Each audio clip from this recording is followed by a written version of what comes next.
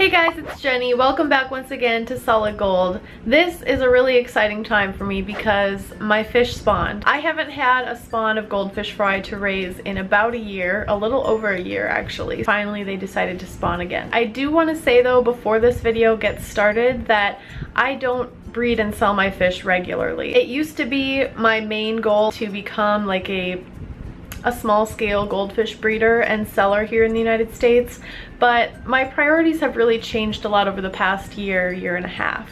Now I really want to focus on my videos because I found that when I was breeding fish more frequently, the quality and consistency of my videos kind of went down from what I want it to be. And my main focus is connecting with you guys through making these videos. And if I'm doing anything that's taking me away from that and not allowing me to grow and expand this part of Solid Gold, then I don't want to be doing whatever it is that's distracting me from the videos. I view my breeding of my fish as kind of like a side hobby for me. That's something that's fun for me to do. I don't know. Things are really, really changing for me priorities wise. And it's exciting because there's so many possibilities open to me with these, you know, just making videos.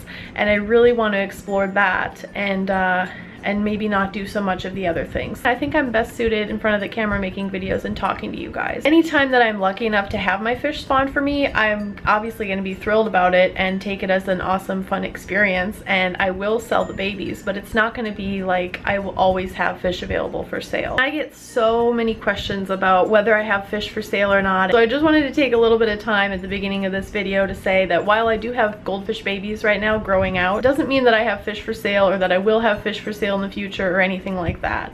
The raising of my goldfish fry for me is more of just a hobby and also I want to do more of sharing it with you guys through my videos like hey here's how you feed baby goldfish here's how you do water changes for baby goldfish here's how you breed your goldfish you know etc it's really like a learning experience that we can share together more so than like I'm trying to breed fish so I can sell them to you guys. That being said, I probably will be selling any of the fry that are left after the growing process and the culling process and you know any ones that I hold back as keepers for myself. I probably will be selling the remaining ones on my website at some point in the future. Probably won't be for another four to six months, I would say. So not yet. a really, really easy way to find out if I have fish available for sale is just go to my website. My website is my channel name. It's solidgoldaquatics.com. I have a section on there that's called US bred goldfish. Those are goldfish that have been bred by me. You can check that section. If there's nothing there, it means I don't have any fish for sale. If you want to find out when I have new fish available for sale at some point in the future, just sign up for my email list and you will find out automatically as soon as they are listed to the website. Now with all of that finally being said, I wanted to share with you guys just a few snippets of my current batch of goldfish fry. These are red and white butterfly telescope fry. And there's not a whole lot of them. It's just a very small spawn. Most of the eggs were unfertilized, but there are some, and as you can see, they are free swimming and ready to eat. The female that spawned these eggs is Lincoln. She's right here. Come here, girl. I noticed about a week and a half ago that she looked super, super bloated. And I got worried because I was worried that she may be developing dropsy or just maybe she was egg bound or something. But in case she was just full of eggs that needed to be released, I decided to put her in the 75 gallon aquarium where a bunch of my male butterflies were living. So I put one lone brave female into an aquarium with a bunch of males. Let's see, Epona was in there, Mordecai. This guy was in there. Who else? Clyde, of course, was in there. And I think that might be it. Yeah, just a whole bunch of whole bunch of males with one female that was potentially ready to drop a bunch of eggs. After I put her in there with the males, nothing ended up happening for several days, so that was really discouraging. But then one day I came out to the fish room and saw eggs. There were eggs all over the floor and the back wall of the aquarium and some on the spawning mops too. But mostly they seemed to be stuck on the floor and the back wall of the aquarium. I really wanted to save the eggs And once they're stuck onto something, you really can't remove them and transfer them somewhere else without killing them. So I just decided to move all the males out of here, drain the water level way down. I have a sump filter and I wanted to save all the media that was in there because uh, with the water level drained this far down, the sump filter isn't going to be operational because it has to intake water from way up, up at the top of there. What I ended up doing was taking all of the biological media out of here. I was able to save almost all of it. I ended up putting a lot of it in my new canister filter for my 90 gallon aquarium inside. And then I put a bunch of it in these two AquaClear 110 filters on my Watonai tank. And here are the babies. I'm going to be adding a sponge filter in here eventually, but right now it is just an air stone. I don't have the live brine shrimp ready for them to eat. I'm gonna be setting that up today. But I do have some decapsulated brine shrimp that I'm hoping they'll eat and I'm gonna try that and then work on setting up their brine shrimp hatcheries so I have those live brine shrimp for them going forward. So these are the decapsulated brine shrimp eggs. They're pretty convenient because you don't have to go through the hatching out process of actually, you know, cultivating the baby brine shrimp and getting them to hatch. However, it's not a live food, so it's not as readily taken by a lot of baby fish. I am just hoping that these decapsulated brine shrimp will be enough to get these guys by until I can get their live baby brine shrimp set up. And it's like really easy to overfeed. You don't want to put in too much food. I'm just going to put in a tiny bit and see if they seem to like it. It's really hard to tell because they're so tiny and the food that I just put in there is even tinier, but I think I saw one or two of them try to eat the food particles, the, the decapsulated brine shrimp, and then spit it back out. So I don't think they like it. So that might be a bust for now. I'll keep watching and see what happens, but I'm also gonna get working on the live baby brine shrimp hatchery right now too. These are my new brine shrimp hatcheries that I got a couple months ago from Jehmco. I used to use like a DIY homemade brine shrimp hatchery and they worked just fine but I was kind of curious to try these ones. This is the first time that I've had fry since buying these a couple months ago, so I'm gonna open them today and set them up and see if I like them. So I think for now I'm gonna put the two brine shrimp hatcheries on this table that's on one of the walls of my fish room. I have PVC around the entire perimeter of the fish room and it has an air pump up there, a linear piston air pump supplying air to all the filters. You can see where the airline tubing drops down. I have installed valves everywhere that I need airline tubing to drop down, so then the airline tubing drops down to feed air to the filters in each tank.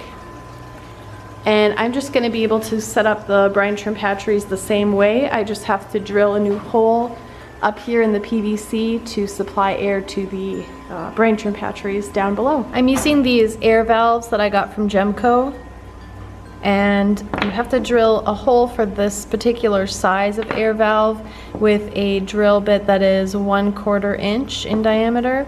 After you drill the hole in the PVC, you then have to use this tap and you can see that it's like kind of um, got teeth in it or grooves so when you drill inside of the hole you created with that, with this tap, it creates a thread. And then you just thread this into it. And then that has a little barb that you can connect your airline tubing to.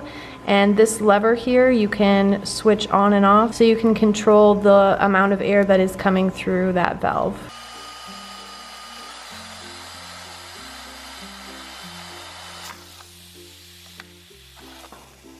Drilling the hole into the PVC. Got to clean off all of this stuff here.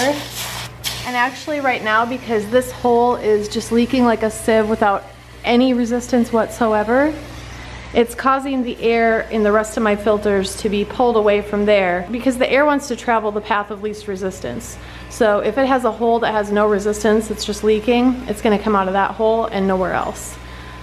So that's what's happening right now. If I cover it with my thumb, the filters are all gonna start back up again.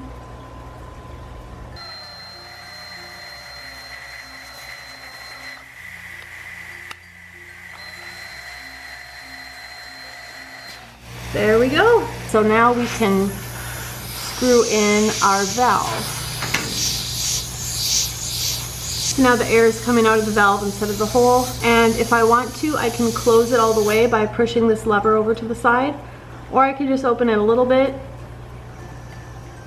Or a little more. Or a little more, or all the way.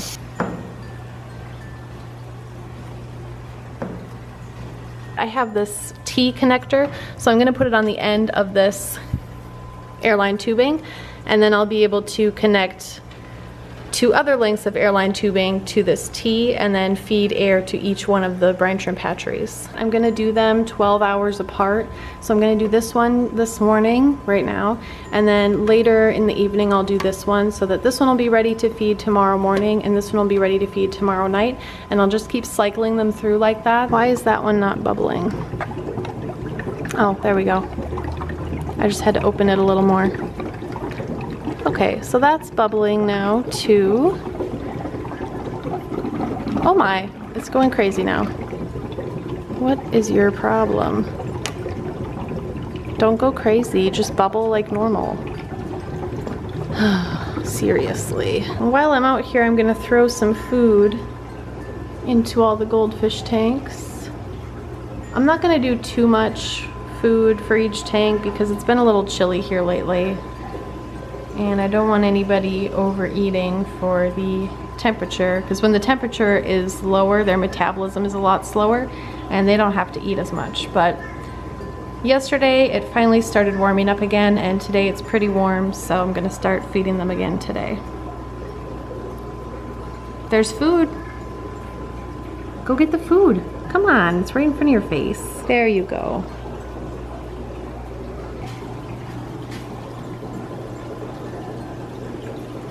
It's back there. It's back here, silly. You're getting colder. There you go.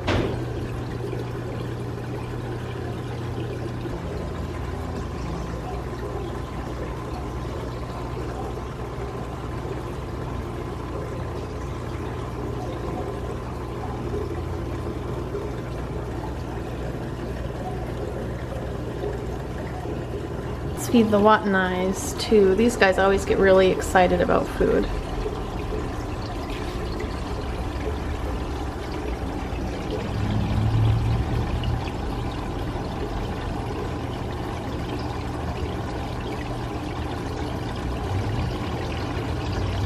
And let's feed the Jikins.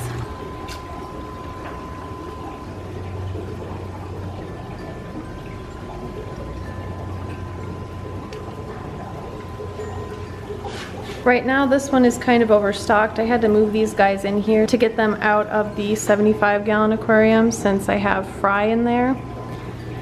And I like to keep my males and females separate of my butterflies. So all the males are in here right now. This is almost 100 gallons and there are one, two, three, four, five, six, seven, eight fish in there. So I guess technically it's not overstocked, but it's overstocked for what I prefer to keep my fish.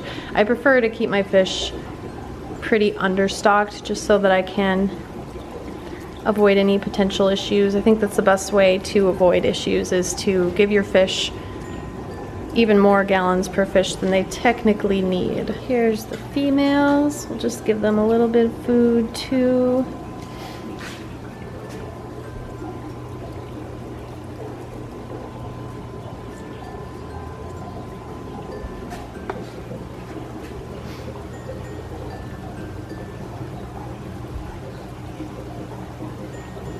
And my broadtails you guys hungry?